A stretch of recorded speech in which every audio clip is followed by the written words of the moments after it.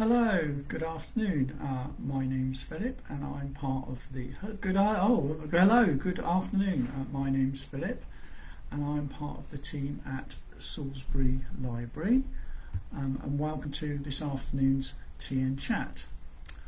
Um, we've got some poetry and some prose this afternoon, and I've got some book recommendations. We've got lots of new books here at Salisbury Library. I've got a few. I picked up a few I thought I would tell you about.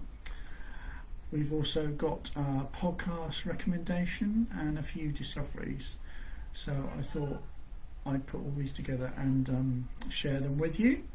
So the first thing that I discovered um, when I was doing some research for this uh, little chat was something called poetryatlas.com and this is called Mapping the World in Poetry and I thought wow this is really good and although it's American you can type in you know, whichever part of the world you're in, and find out a poet who's near you. You can do it by geography or poets. And the one I found, I obviously went to Wiltshire, and I came across a poet called Alfred Williams. And in my ignorance, I hadn't come across that that author before. And Alfred Williams, I've got an old book that I found in the reference library this is Alfred Williams' life and work, and he was born in um, what is now almost part of Swindon. It was a Wiltshire village of South Marston, 1877, and he was a poet and expert on the Wiltshire countryside. And for 22 years, he worked in the uh, stamping shop. He was a hammerman at the Great Western Railway Works at Swindon. But he was also a prolific poet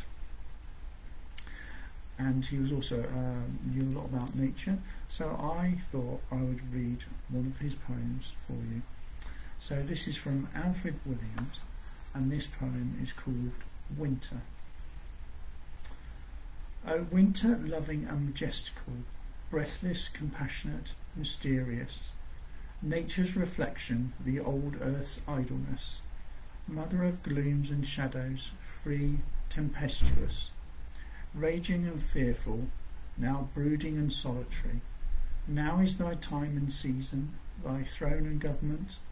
The wind howls in the forest, the cloud hangs over the valley, the sun creeps along the hill early to rest. The round moon comes up over the dale, the stars glimmer and set. The brown earth ponders, the woods mourn musically. The yearlings crowd in the stall, the bared oak quivers. The chattering rooks dig among the leaves for acorns. The thrush is mute in the bush. The blackbird sits still on the bank. The redbreast pipes cheerfully. The pheasant holds his perch in the tree. Now the ice is over the pool. The frost glitters on the window. Suddenly the night comes down. The evening bell arises. The fire crackles on the hearth and the log emits an odour. The children's faces beam with delight, watching the flames go up. The good wife sets the table, hailing her spouse from labour. The crisp brown loaf, golden butter from the dairy, the hot steaming cup, cheerful and delicious, and the strong dish of welcome, sure domestic comfort. These are thy offerings, thy dear compensations, in which my universal mind delights, as one in reason and temperament. Long may I walk the fields and terraces, fresh with the creeping frost salubrious, while the wind beats in secret contemplation, wearing a heart as strong against misfortune as the clear, cutting breath that smites my forehead. So that was um, a poem called by Alfred Williams called Winter. And this is a discovery that I made um, using something called poetryatlas.com. And this was mapping the world with poetry. So I was quite pleased to discover this. Now, um, uh, I would uh, recommend you have a search. We've got some of Alfred Williams's uh, information about him um, in some of our libraries and at the History Centre is worth um, having a look at. He's a very prolific poet and is Wiltshire born and bred, so worth looking at. That's Alfred Williams. Okay. Okay. So I thought I'd mention a podcast that I came across the other day, and I haven't listened to all of them, but um, this is by Frank Skinner, and obviously it's um, he's trying to make uh, the poetry as accessible as possible, and he's done various podcasts. Um, he's done one about Robert Frost, he's done one about Matthew, Matthew Arnold, he's done one about W. H. Auden, um, and his latest one is um, it's entitled Batman, Captain America, and Milton's Paradise Lost. So quite a ground, a lot of ground to be covered there. So I'd, I'd recommend them. I think they're worth trying, and you, you discover something new in a in a familiar and friendly fashion. So that's our Frank Skinner's poetry podcast. Um, I'd, I'd, I'd recommend that. Okay, so I thought we'd have a bit of um, Samuel Taylor Coleridge. Now, when I was um, a small boy, um, I'm sure many small boys uh, or uh, young children came across um, Grease and uh, Olivia Newton-John and all that sort of thing. And um, one of the songs she sang mentioned Xanadu, and at that point I thought, what Xanadu? That's worth uh, worth finding out. And of course, it relates to the poem Kubla Khan by Samuel Taylor Coleridge, and it relates to his uh, secret pleasure dome that he uh, he wants to wants to wants to build. So I thought I'd read Kubla Khan by Samuel Taylor Coleridge. In Xanadu de Kubla Khan, a stately pleasure dome decree, where Alph the sacred river ran, through caverns measureless to man, down to a sunless sea so twice five miles of fertile ground, with walls and towers were girdled round, and there were gardens bright with sinuous rills, where blossomed many an incense-bearing tree, and here were forests ancient as the hills, enfolding sunny spots of greenery. But oh, that deep romantic chasm which slanted down the green hill athwart a cedarn cover, a savage place, as holy and enchanted, as ere beneath a waning moon was haunted by woman wailing for her demon lover. And from this chasm with ceaseless turmoil seething, as if this earth in fast thick pants were breathing, a mighty fountain moment, momently was forced, amid whose swift half intermittent burst, huge fragments vaulted like rebounding hail or chaffy grain beneath the thresher's flail, and mid these dancing rocks at once and ever it flung up momentarily the sacred river, five miles meandering with a mazy motion. Through wood and dale the sacred river ran, then reached the caverns, measureless to man, and sank in tumult to a lifeless ocean. And mid this tumult Kubla heard from far ancestral voices prophesying war. The shadow of the dome of pleasure floated midway on the waves, where was heard the mingled measure from the fountain and the caves. It was a miracle of rare device, a sunny pleasure dome with caves of ice, a damsel with a dulcimer in a vision once I saw. It was an Abyssinian maid, and on her dulcimer she played.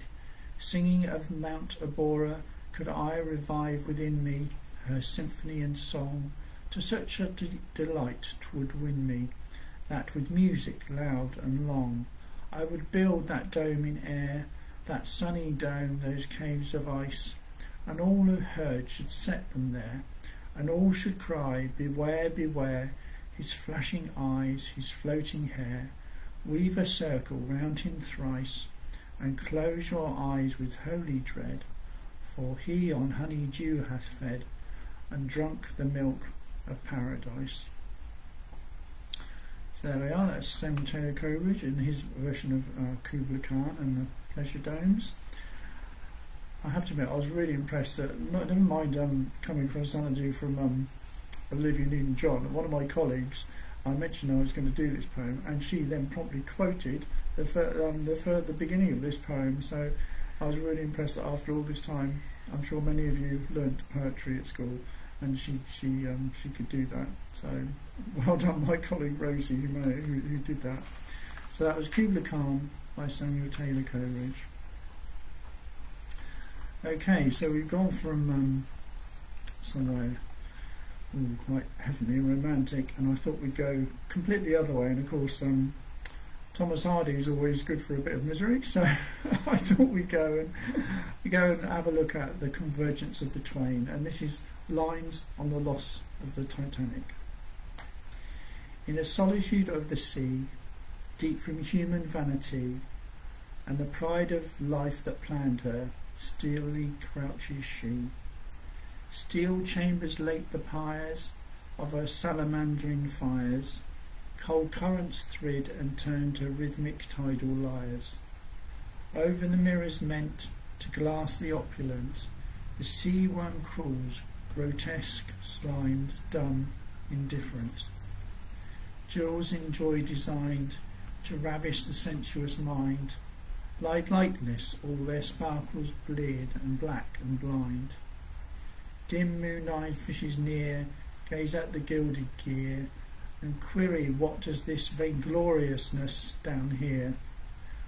While Weil was fashioning this creature of cleaving wing, the eminent will that stirs and urges everything, prepared a sinister mate for her so gaily great.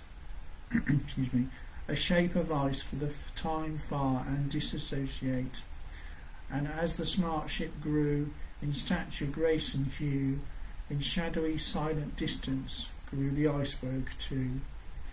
Alien they seemed to be, no mortal eye could see the intimate welding of their later history, or sign that they were bent by a past coincidence on being anon twin halves of one August event till the spinner of the years said now, and each one hears, and consummation comes, and jars two hemispheres, hemispheres. I love that like last line where the the two immovable objects clash into each other. Um, so that was the convergence of the twain, lines on the loss of the Titanic by Thomas Hardy. Okay, so we've recently um, got a lot of new books here at Salisbury Library, non-fiction books this is, and the whole team chipped in and put their suggestions, and we came up with some really interesting books. So I thought I would share some of those with you. Um, all these books are available um, on. You can request them if you don't live in Salisbury. You want to come to your library. Um, and some of them will eventually go around and change to other parts of the county. So the first book I was going to share with you was uh, called The Secret History of English Spas, and that's by Melanie King. And um, this does what it says on the tin, and it looks at spas around Britain. Obviously, there's quite a substantial chapter on Bath. Um, and about the development of spas, it mentions places like Tunbridge Wells and Buxton in Derbyshire. It's quite beautifully illustrated um, it's quite a, it's not a weighty book in terms of it's quite a straightforward read. I've had a flick through it and it's quite readable. And of course, for those of you who know Wiltshire well, and perhaps those of you who live in Melksham, you'll know that Melksham was at one time uh, touted. They were trying to make it into a spa, and there is a spa road in Melksham. And if you go to Melksham, there's still some beautiful, large bath-like houses on the outskirts of the town. Um, so we did tr try to have a spa in Wiltshire, um, in Melksham, but it never quite took off. Bath took over. So I, I would recommend this book. It's got beautiful um, pictures and, um, and maps um, and covers most of the spas in Britain.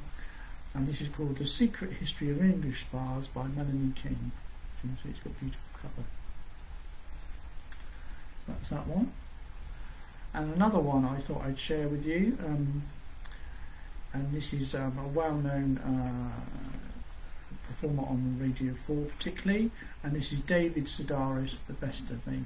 And if you've never heard or tried David Sedaris, and you want you want to laugh, and he's really good. And those of you who've heard him will know that he's got little life stories that he tells, and this is all um, short essays he is an American who lives in Britain and he's lived here for a long time now.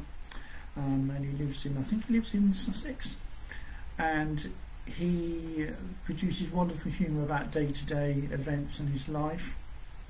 And these are nice little uh, chapters that you can read just before you go to bed or read to cheer up, and they will um, they will make you laugh, and and I think you'll really enjoy them. And if you ever get a chance to listen to him on the radio or go to one of his shows, I would recommend it. So that's David Sedaris, the best of me. Okay. Right, we'll have another poem. I have got two more books to share with you later on, but I thought we'd have a have another poem first. So the poem I've got next is by Gerald Manley Hopkins and it's called The Wind, Ho- Windhover. And this refers to those wonderful birds, uh, kestrels, who, funny enough, I saw one just the, just yesterday on the way to work, and they're often around um, Stonehenge, hovering in the sky there, um, concentrating on some poor vole or mouse or whatever that they're trying to get below. Um, so this is Gerald Manley Hopkins, The Windhover. I caught this morning, this morning's morning's minion, Kingdom of Daylight's Dauphin, dapple drawn drawn falcon in his riding, of the rolling level under, underneath him steady air and striding. High there, how he rung upon the rein of a wimpling wing. In his ecstasy, then off, off forth on swing. As a skate heel sweeps smooth on a bow bend, the hurl and gliding rebuff the big wind. My heart in hiding stirred for a bird, the achieve of the mastery of the thing. Brute, beauty, valour, and act. Oh, air pride plume here, buckle and the fire that breaks from thee then, a billion times told lovelier, more dangerous. Oh, my chevalier, no wonder of it, sheer plod makes plough down sillion. Shine and blue bleak embers are, my dear, fall and gore themselves and gash gold vermilion. So that was Gerald Manley Hopkins, The Windhover.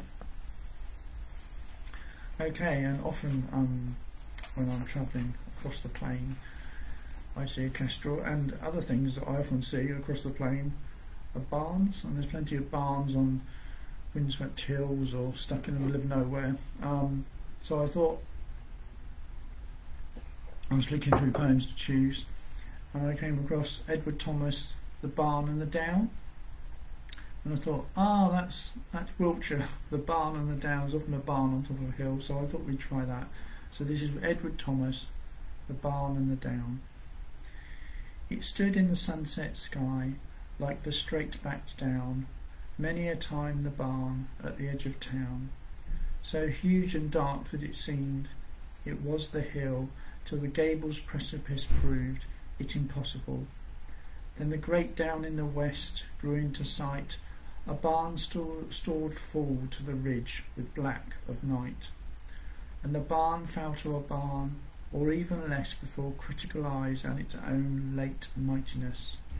But far down a near barn and I since then have smiled, having seen my new cautiousness by itself beguiled.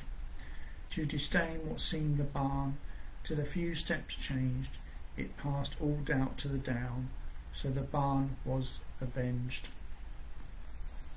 That was The Barn Down by Edward Thomas. Okay, so I was mentioning two books just now that I wanted to share with you, and part of our um, fantastic new non-fiction um, selection that we bought for Salisbury Library. Two more I thought I'd share with you.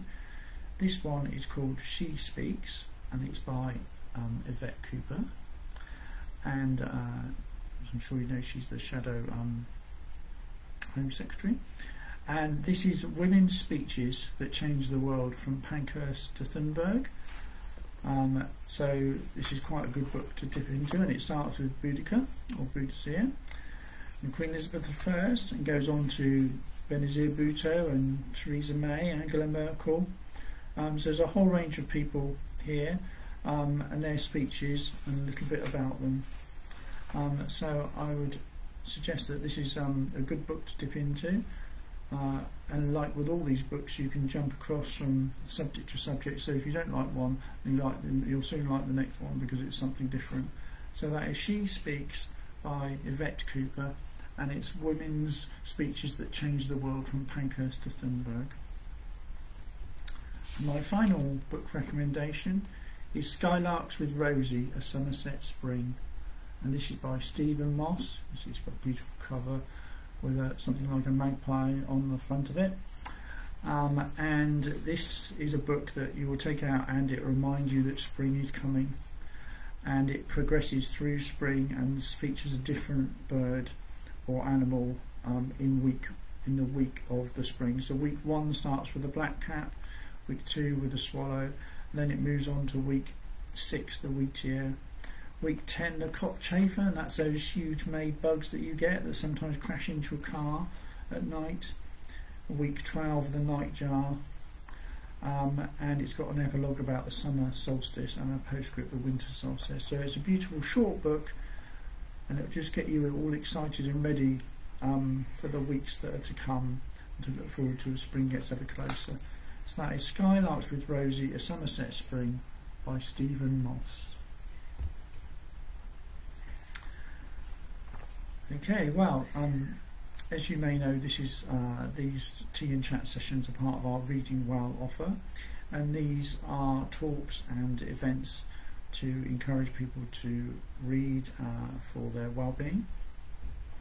And we always like to have something that cheers you up and makes you laugh. So I thought we'd finish with one of my favourites, and this is Edward Lear, and it's the Quangle Wangle's hat.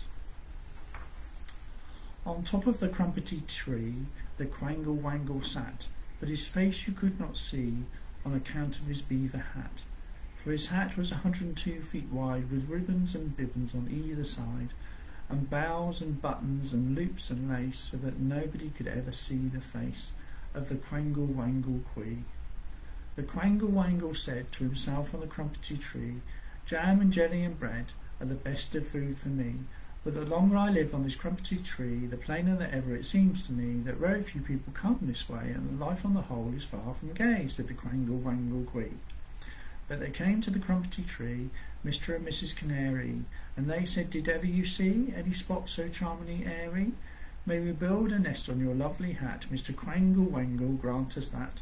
Oh, please let us come and build a nest of whatever material suits you best, Mr. Quangle Wangle Quee and besides the crumpety tree came the stork, the duck, and the owl, the snail and the bumblebee, the frog and the thimble fowl.